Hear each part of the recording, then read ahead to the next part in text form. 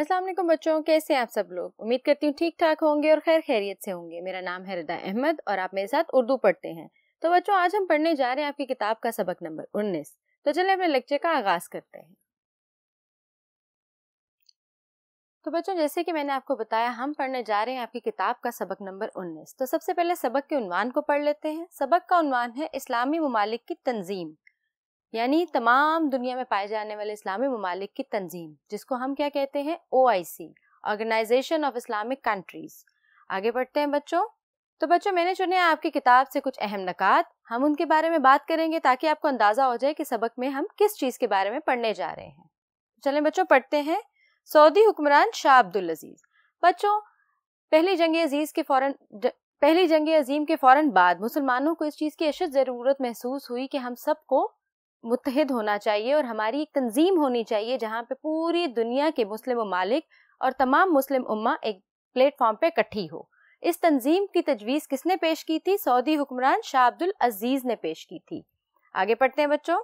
अगस्त उन्नीस का वाक़ बच्चों, जब सऊदी हुक्मरान शाह अब्दुल अज़ीज़ की तजवीज़ पे इस्लामी ममालिक की तंजीम बनाई गई बच्चों दो इजलास के बाद उस तंजीम का खात्मा हो गया। खात्मा कुछ इस तरह हुआ बच्चों कि बहुत से मुस्लिम ममालिक की आपसी नातफाकी की वजह से ये तंजीम खत्म हो गई।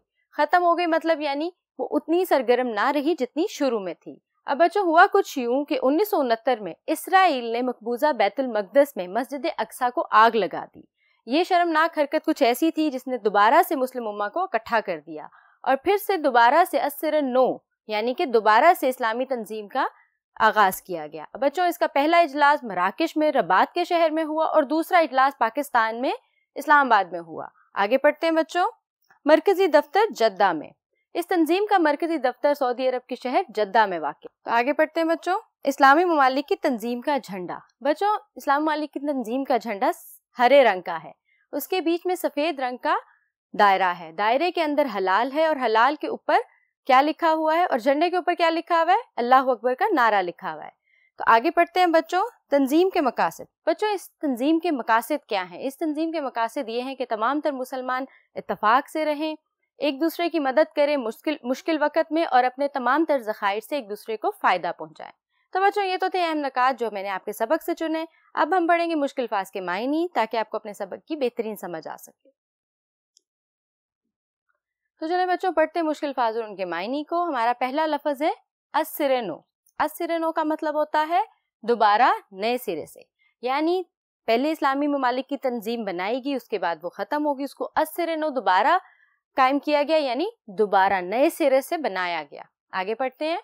इश्तराक अमल मतलब हिस्सेदारी, यानी मिलजुल के किसी काम के करने को क्या कहते हैं? इश्तराक अमल। आगे पढ़ते हैं। अशद अशद का मतलब होता है नहायत, शदीद। अशद ज़रूरत, बहुत ज़्यादा ज़रूरत। आगे पढ़ते हैं। अफाम तफहीम अफाम तफहीम का मतलब होता है आपस की सलाह मशवरे से, बाहमी सलाह मशवरे से, यानी मिलजुल कर किसी बात पे या किसी एक फैसले पे मुत्तफिक हो जाना। आगे पढ़ते हैं। बरी। बच्चों, बरी कहते हैं जमीनी और इसी तरह बहरी कहते हैं पानी में पाए जाने वाली। तो तो बच्चों, यहाँ पे बरी का क्या मतलब है? जमीनी। आगे पढ़ते हैं। तनाजा। बच्चों तनाज़ा कहते हैं झगड़े को, चाहे वो ज़मीन का तनाज़ा हो या किसी भी चीज़ का। तनाजे का मतलब होता है झगड़ा, वो चीज़ जिसपे कोई लड़ाई हो। बच्चों, आगे पढ़ते हैं। जारहियत, बच्चों, जारहियत का मतलब होता है नाजायज कब्जा या नाजायज हमला। जैसे भारत ने मकबूजा कश्मीर पे जारहियत से कब्जा किया, यानी नाजायज कब्जा किया हुआ नाजायज हमला किया था। आगे पढ़ते हैं। जखायर बच्चों, जखायर कहते हैं जखीरे की जमा को। जखीरे का मतलब होता है किसी चीज़ को इकट्ठा करना इकट्ठा करना। जैसे गोदाम में चावल का जखीरा है, यानी चावलों को इकट्ठा करके गोदाम में रखा गया है। आगे पढ़ते हैं। फाल। बच्चों, फाल का मतलब होता है मौसर, यानी जो चीज़ काम आ सके। आगे पढ़ते हैं।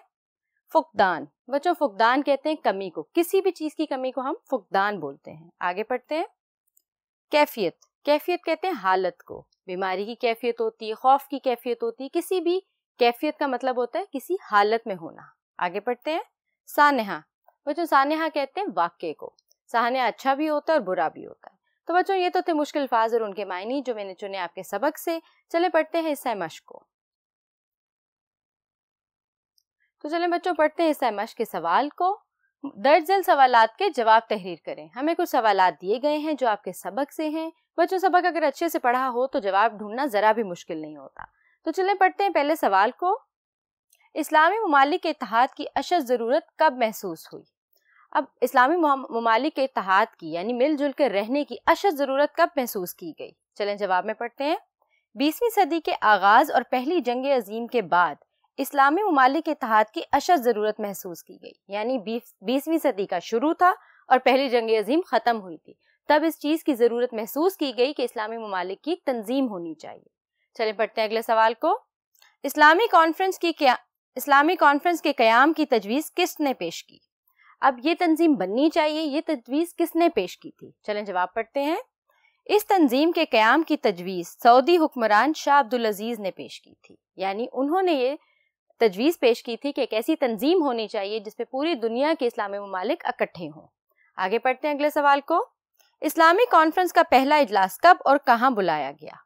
तो चलिए बच्चों पढ़ते हैं जवाब की तरफ़। तो बच्चों, इस्लामी कॉन्फ्रेंस का पहला इजलास कब और कहाँ बुलवाया गया? अब देखते हैं जवाब को। इस्लामी कॉन्फ्रेंस का पहला इजलास 1926 को मक्का मुकरमा में बुलाया गया। तो बच्चों, आपको इन तारीखों को अच्छे से याद रखना है, क्योंकि आपके पर्चे में सवाल भी हो सकता है। चले पढ़ते हैं अगले सवाल को। इस्लामी कॉन्फ्रेंस अस सिरनो कब कायम की गई?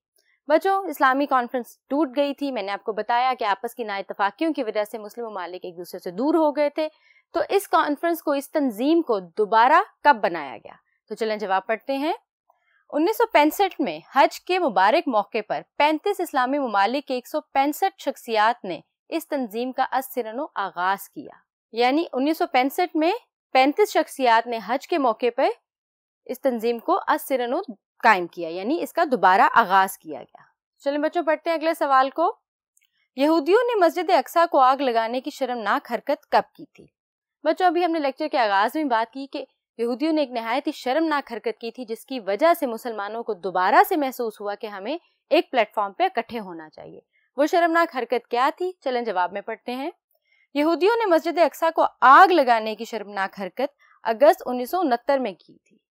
बच्चों, ये नहायत ही बुरी बात थी क्योंकि किसी की भी मजहबी जगहों को आग लगाना, वहाँ पे दहशत गर्दी फैलाना एक नहायत शर्मनाक हरकत है और इसराइल ने यह हरकत उन्नीस सौ उनहत्तर में की थी। चले बच्चों, पढ़ते हैं अगले सवाल को। मराकश में होने वाली पहली सरबराही कॉन्फ्रेंस मराकश में होने वाली पहली इस्लामी सरबराही कॉन्फ्रेंस की सदारत किसने की थी? जब जब तंजीम को दोबारा बनाया गया, दोबारा कायम किया गया तो फिर जो पहली कॉन्फ्रेंस की उसकी सदारत किसने की थी? तो चलें जवाब में देखते हैं। मराकश में होने वाली पहली इस्लामी सरबराही कॉन्फ्रेंस की सदारत शाह हुसैन ने की थी। तो चले बच्चों, बढ़ते हैं अपने अगले सवाल की तरफ़। तो चलिए बच्चों, पढ़ते हैं अपने आखिरी सवाल को। लाहौर में होने वाली दूसरी इस्लामी सरबराही कॉन्फ्रेंस की सदारत किसने की? पहली इस्लामी सरबराही कॉन्फ्रेंस की सदारत मराकश के सदर शाह हुसैन ने की थी।